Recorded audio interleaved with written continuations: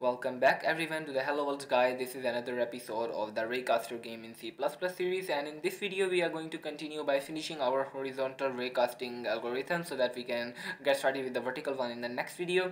So I'm going to open up my terminal and I've actually gone ahead and uh, basically uh, you know created the actual raycasting algorithm. I have already uh, like implemented it for horizontal raycasting so I'm just going to give you an overview of like uh, the changes we made from the previous video. First of all let me run make here to kind of show you what we have. So you can see that we can move around and we have got like a ray here. And if I look around this ray uh, interacts with only the horizontal walls. So it does not interact with like the vertical walls but it does interact with the horizontal ones.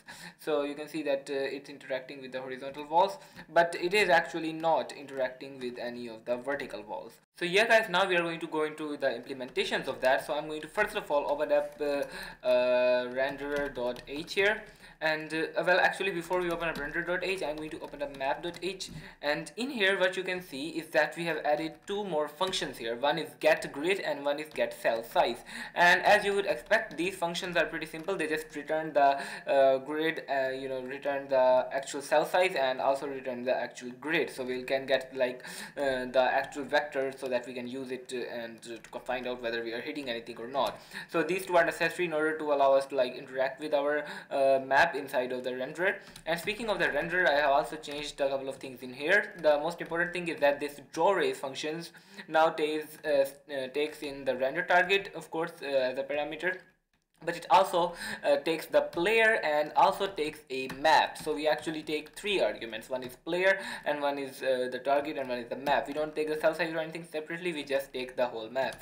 And uh, similarly in main.cpp we have modified it so that we have got like uh, a renderer here uh, called renderer just like we had in the last video. But uh, this time when we call draw rays on it we provide it with the player with the window the player and the map.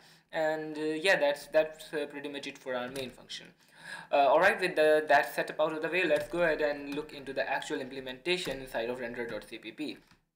So in here uh, there are a couple of changes in the from the last video.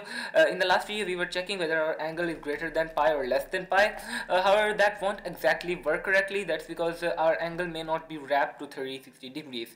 One way to ensure it is correct would be to wrap it but an easier way to is to just take the sine of the angle. So uh, here we convert the angle to radians.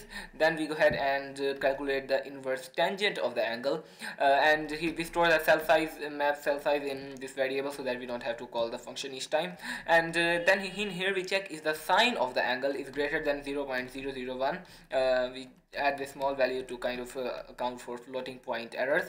And if it's less than negative of that amount so uh, if it's greater than this we are looking up and we uh, actually we are looking down. Uh, if it's greater than this mm, then we need to well we are looking up but we need to uh, kind of do it. In the last video we added the cell size in this one and we subtracted the other thing in that one. So uh, yeah uh, we need to actually reverse that. The reason for that is because of the way we have implemented our player and everything else. This is actually the correct way to do this. So uh, yeah we'll set our ray position.y to basically we'll round it to the cell size then add cell size to this and we'll set our ray position.x to uh, our player position.y minus our ray position.y multiplied by our tangent and add to that our player's x position uh, for offset.y we'll use the cell size and for offset.x we'll use negative offset.y multiplied by the inverse of tangent. And uh, if we are looking if the sine is less than minus 1 minus 0.001 actually then we'll just uh, uh, wrap it up and we subtract the small l value to kind of uh, mm, make it account for floating point differences. You could actually move that i'm doubt if it would cause that much of a difference.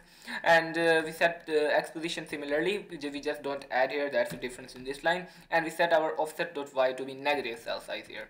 And if neither of these is true which means we are looking either straight left or straight right that means we are never going to hit a horizontal wall and we can pretty much return so that's pretty cool and now in here uh, you can see we store our grid in a const reference by getting map.getGrid and uh, with that we basically run a loop over max raycast depth which is uh, 32 actually that's too much. We could just set it to 16 actually. Uh, like uh, this is the maximum you know depth for which we'll do the raycasting uh, or you could leave it at 32 if you want. It depends on the size of your map and how far you want the player to be able to look.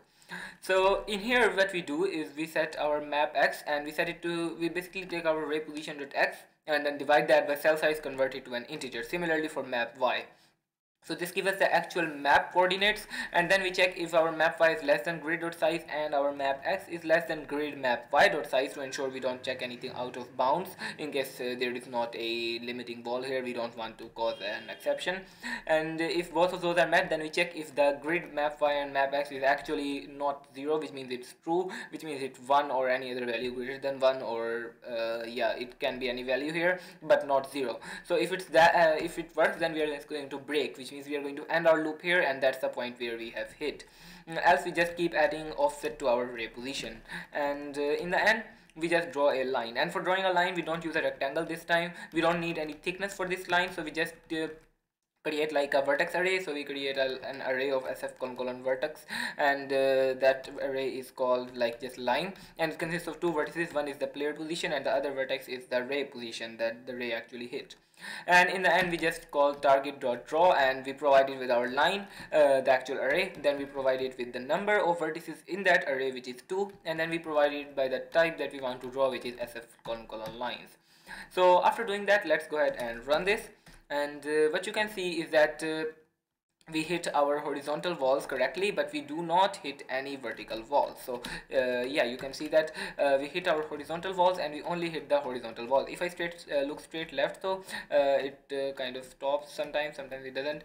Uh, anyways if i actually move out of this area then you can see that uh, this ray is kind of extending quite far because it's not hitting anything but here it does hit when we actually get a horizontal line here.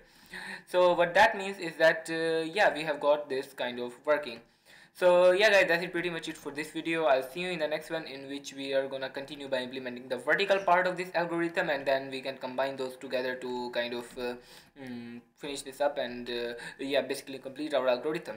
So we'll see i'll see you in the next one. Uh, make sure to like and subscribe and share this video with other people as well and bye